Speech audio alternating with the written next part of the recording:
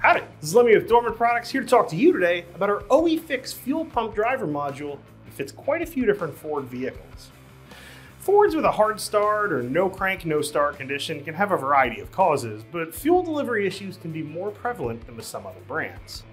A lot of that has to do with this guy, the fuel pump driver module, which was used on a ton of blue oval cars and trucks. The driver module receives a signal from the ECM and controls the voltage applied to the fuel pump in the tank, generating the necessary pressure. The reason some Ford vehicles have failures, however, is the placement of these units on the vehicle. This unit fits Ford body-on-frame vehicles, among others, and Ford chose to mount this driver to either the frame or crossmember on these vehicles, and that's what helps spur those high failure rates.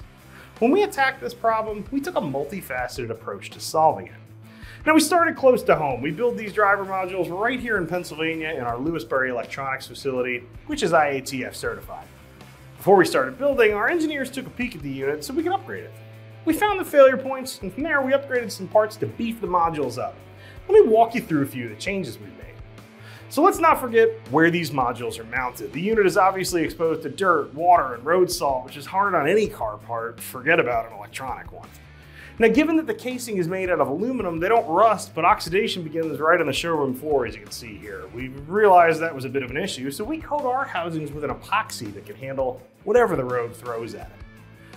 We also use a more robust sealant when attaching the covers to the housing the factory used, since that's the spot where water intrusion can occur as well. Now those two changes alone solve quite a few of these problems, but we took some extra steps for crossmember mounted driver modules. We changed up the mounting just a little bit. Depending on your factory module, you probably have large threaded fasteners in one spot or another. You might also have through studs affixing the module as well. In almost every mount we've seen, these have been surface mounted to the vehicle chassis, frame, or a cross member in the case of the F-150 you can see in front of me here. Now the surface mounting is part of why these originals fail. We have sort of a progression you can see here. The first design held the module against the steel frame. The steel rusts, and then road salt, water, and oxygen dissimilar metals combine to cause this massive galvanic corrosion.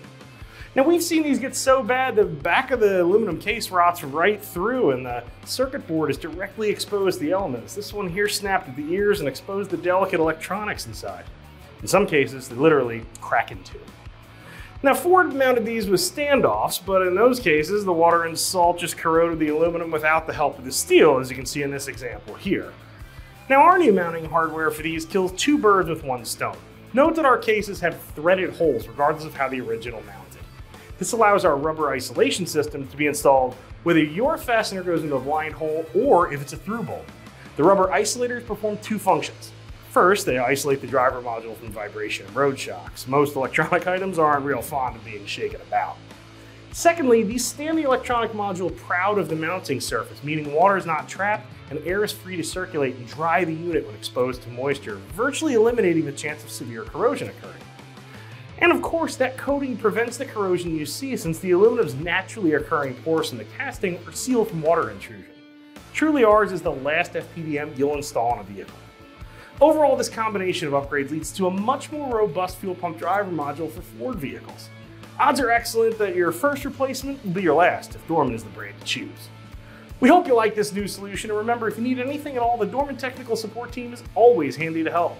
Thanks for checking out our video on our OE Fix fuel pump driver modules for Ford vehicles. I'm Lem. I'm out of here.